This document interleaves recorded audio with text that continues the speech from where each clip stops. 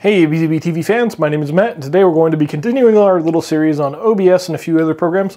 But today we're going to be talking about how to stream in 4K, specifically using our Adamo 4K with OBS. So it's a really simple uh, process actually. Let's go ahead and dive straight into this, and uh, we'll get uh, we'll get you on your way to uh, streaming in 4K. All right, so to start this all off, obviously we have OBS here uh, running. And I've already created my scene and brought my Adamo 4K in. Uh, however, there's two problems, right? So the Adamo 4K at the moment is not set to 4K. It's actually set to uh, output at 1080p. So we're gonna go ahead and go and change that here in the web GUI.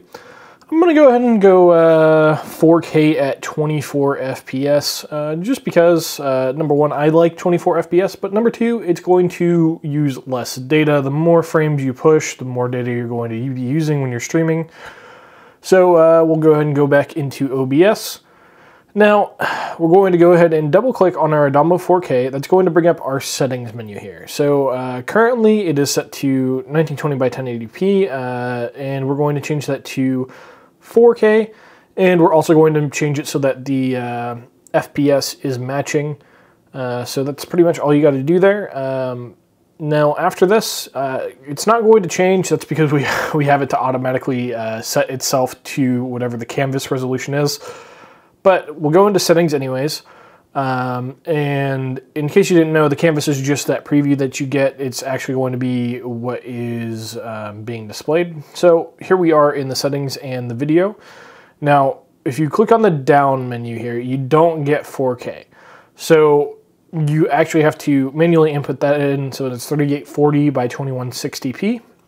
Uh, just go ahead and hit enter. And we're going to want to change the output to be the same as well because we want to output at 4K as well. So just go ahead and apply, hit OK. Um, and uh, don't forget to change your FPS. I almost forgot to do that, but don't, don't forget to change that. So go ahead and hit apply and we'll hit OK.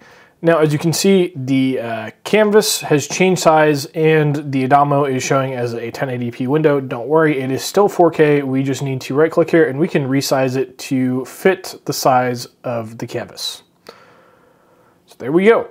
Now your canvas and your output are at 4K. We can just go ahead and double check this real quick. Uh, we'll double click, boom, there it is, still at 4K and 24 FPS.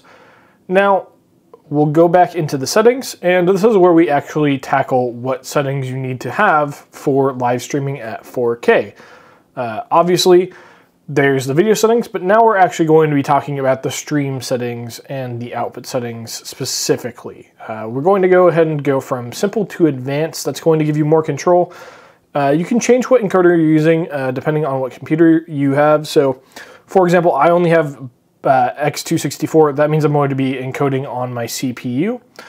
Um, but if you had an NVIDIA GPU, you could use NVENC, which is going to use your GPU. Now, I checked the rescale output thing here. What that does, that basically means that you can record at 4K and basically have a 4K signal that you are going to rescale into a different output for uh, less bandwidth.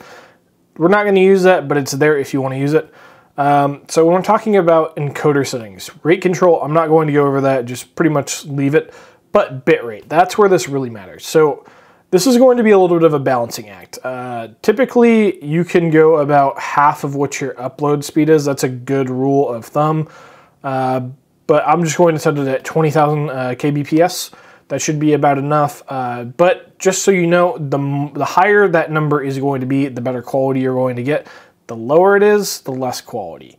But that also means less strain on your computer and less strain on your network.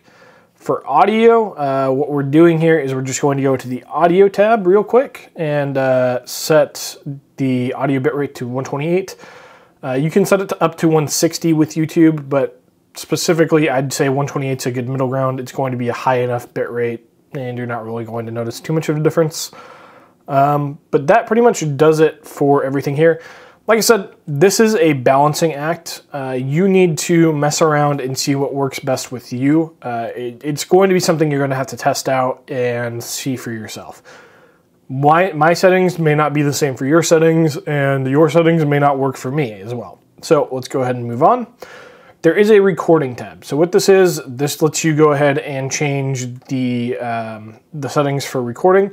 So if you wanted to record and stream at the same time, you could do that.